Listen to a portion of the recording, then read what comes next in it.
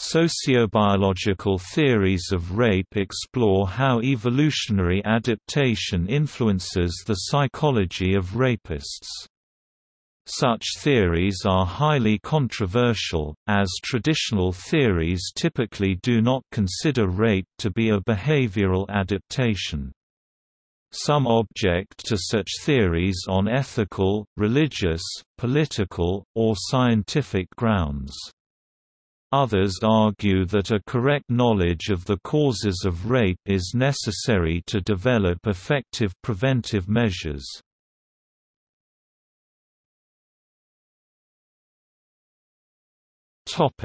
A natural history of rape The idea that rape evolved under some circumstances as a genetically advantageous behavioral adaptation was popularized by biologist Randy Thornhill and anthropologist Craig T. Palmer in their book A Natural History of Rape 2000.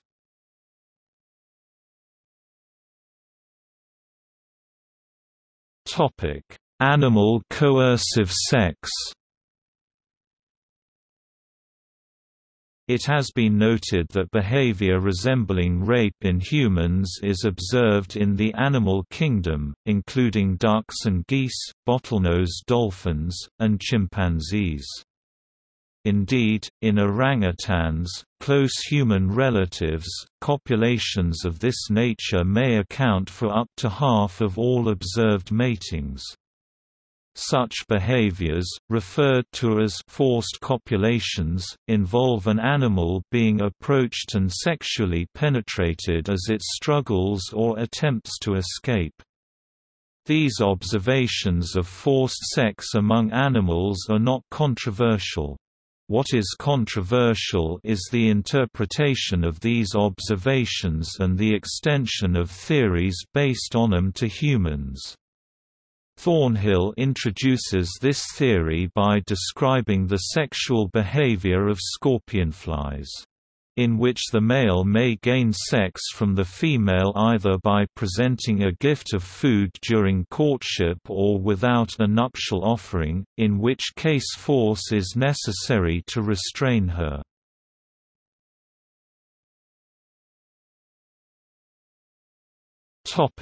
Human rape It is hypothesized that rape is homologous to similar behavior in other animals.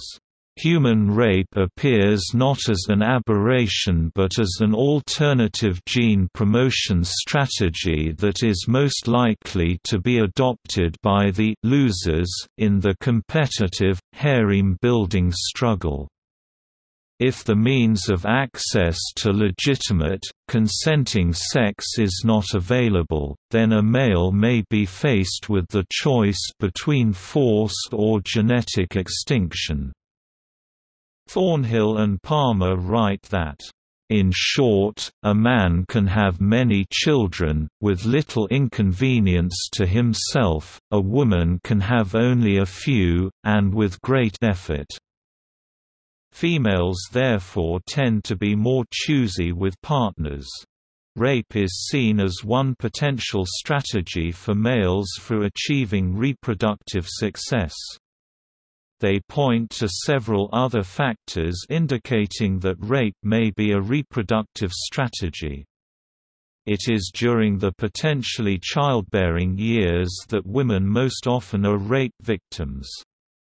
Rapists usually do not use more force than necessary to subdue their victims which is argued to be the case since physically injuring the victims would reduce the chance of reproduction.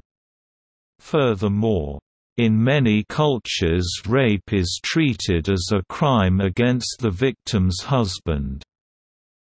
Anthropologist Edward H. Hagen states in his Evolutionary Psychology FAQ from 2002 that he believes there is no clear evidence for the hypothesis that rape is adaptive.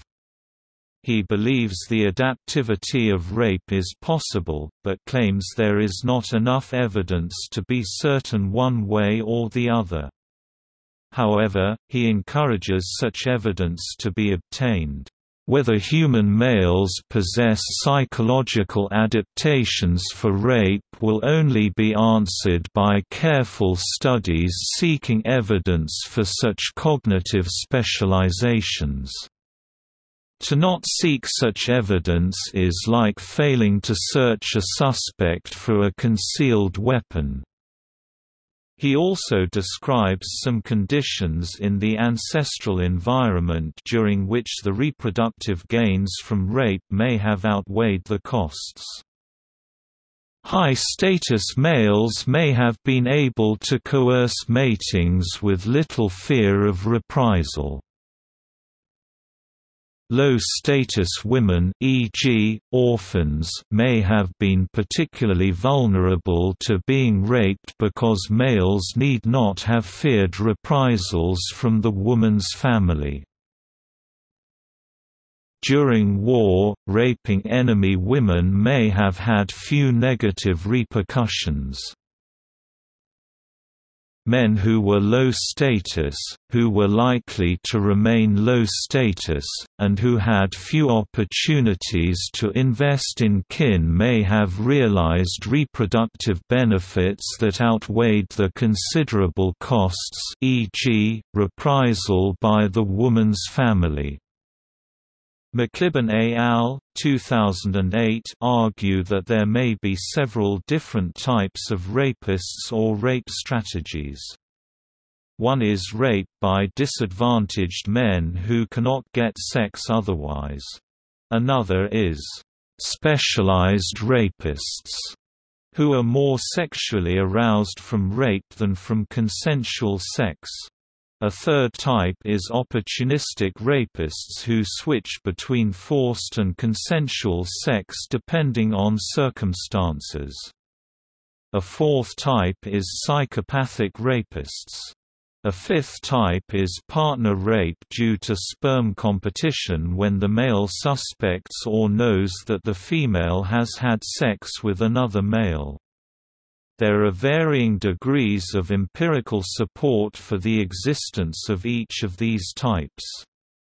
More generally they mention research finding that at least one-third of males admit they would rape under specific conditions, and that other surveys find that many men state having coercive sexual fantasies. They, as have others, propose that rape is a conditional strategy that may potentially be deployed by any man.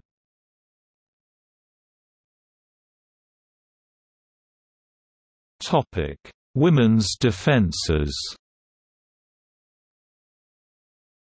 Women may have developed several defenses against and strategies to avoid rape. One is a partner preference for men that are effective bodyguards against other men such as physically and socially dominant men although there may also be other evolutionary reasons for such a preference. Another is great psychological pain which according to some research is greatest during the childbearing years. Other researchers have argued that the emotional pain may cause the women to focus on the social circumstances that enabled the rape with the aim to prevent future rapes. Other research has found that during the fertile phase of the menstrual cycle women perform fewer behaviors that may increase the risk of an assault. Studies have also found that sensitivity for potential coercive behaviors in males as well as handgrip strength but only in a simulated coercive situation increase during the fertile phase of the menstrual cycle. On the other hand, a 2003 study found that the frequency of pregnancy from rape is significantly higher than that of pregnancy in non-coercive intercourse, and advanced the hypothesis that male rapists disproportionately target women exhibiting biological indications of fertility.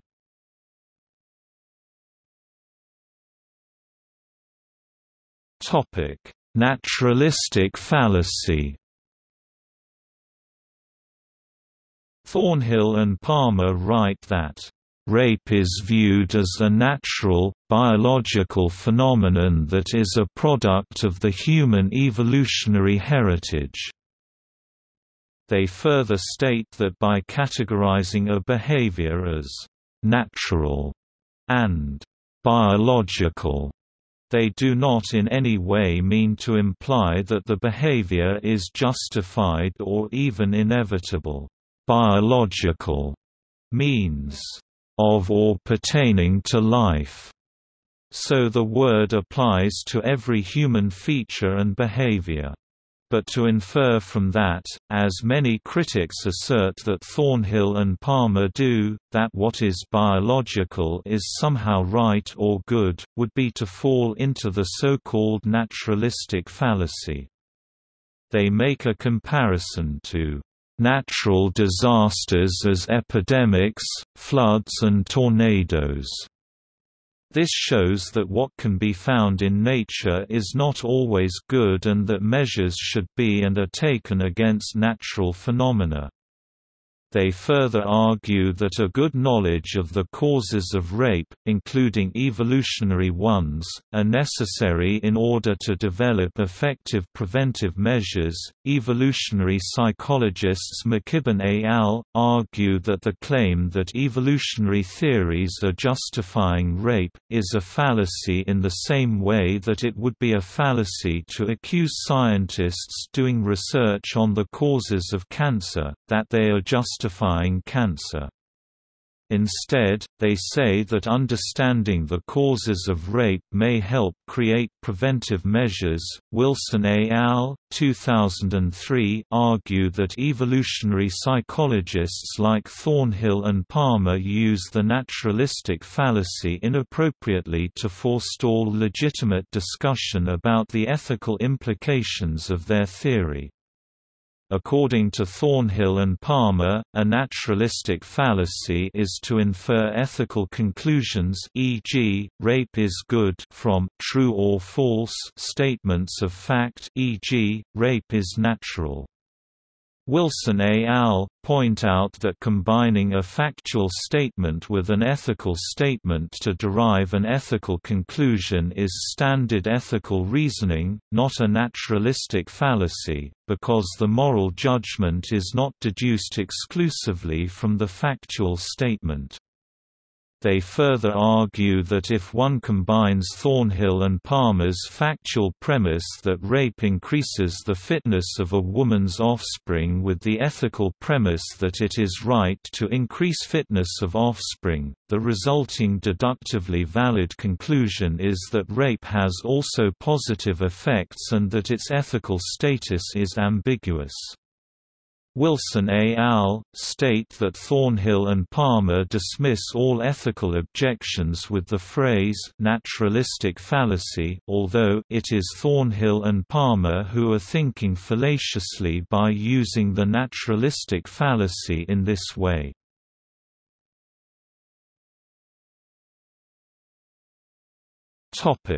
Preventing rape Thornhill and Palmer 2000 suggest a number of possible strategies for preventing rape. One example is explaining to males that they may have predispositions to misread the female invitation of sex. They believe that viewing rape as being due to a desire for domination, and not related to sexual desire, is generally harmful. One example being the claim that the way women dress will not affect the risk of rape. They argue that the much greater societal freedom of dating without supervision, and removal of many barriers between males and females, have created an environment that has also removed many earlier societal controls against rape. It is recommended that Men and women interact only in public places during the early stages of their relationships.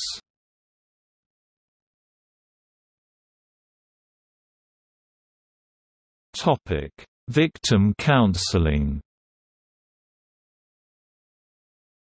Counseling of rape victims may also be improved by evolutionary considerations, according to Thornhill and Palmer, and they argue that the view that rape is due to a domination desire, cannot explain to the victim why the rapist seemed to be sexually motivated.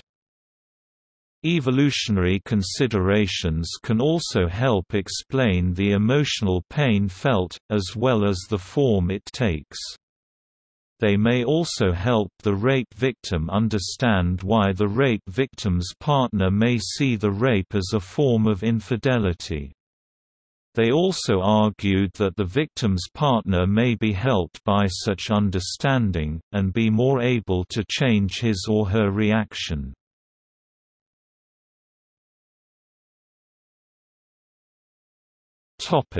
Criticism The 2003 book Evolution, Gender, and Rape, written in response to a natural history of rape, compiles the views of 28 scholars in opposition to sociobiological theories of rape.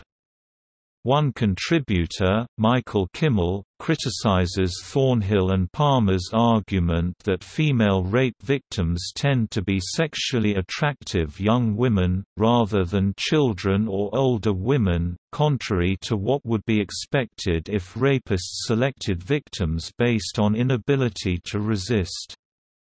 Kimmel argues that younger women are the least likely to be married and the most likely to be out on dates with men, and therefore are the most likely to be raped because of opportunity arising from social exposure and marital status.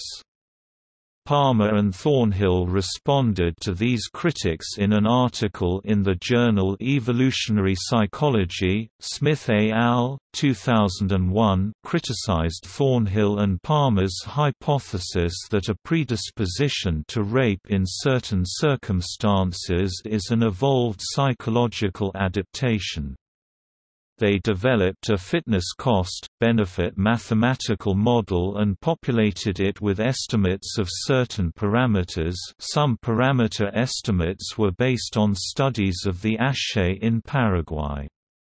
Their model suggested that generally that only men with a future reproductive value of one-tenth or less of a typical 25-year-old man would have a net positive cost-benefit fitness ratio from committing rape. On the basis of their model and parameter estimates, they suggested that this would make it unlikely that rape generally would have net fitness benefits for most men, while defending the evolutionary psychology theory of rape against its more vehement critics. Vandermassen 2010 provides a critique of some aspects of the view. She characterizes the view of Thornhill and Palmer as extreme p. 736, as they fail to allow for the influence of any non-sexual motivations in the crime of rape. Vandermassen also notes two problems with the data cited by Thornhill and Palmer regarding the psychological trauma caused by the violence associated with rape. Firstly, the data is inaccurately and confusingly presented in the book, often obscuring the fact that they do not support Thornhill and Palmer's counterintuitive hypothesis. p. 744 that more physical violence during rape is associated with less psychological pain. Secondly, more recent research has failed to support this hypothesis. A more moderate position, integrating the evolutionary psychology and feminist theories on rape, is presented by Vandermassen, based in part on the work of feminist evolutionary researcher Barbara Smuts. Hamilton 2008 has criticized Thornhill and Palmer's definition of rape as the coerced vaginal penetration of women of reproductive age. He has suggested that the exclusion of male rape, rape of women outside the reproductive age range, murderous rape, and non-vaginal forms of rape virtually guaranteed the confirmation of their hypothesis that rape is an evolved reproductive strategy and not a crime of violence. Hamilton has argued that evolutionary psychology fails to explain rape because, by evolutionary psychology's own criteria, an adaptation to rape children or men, or non-vaginal rape, would have been eliminated in the course of evolution because it did not confer reproductive advantage on our ancestors.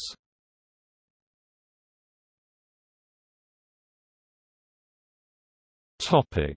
See also. Violence against women. Animal sexual behavior, coercive sex. Sexual selection. Sexy son hypothesis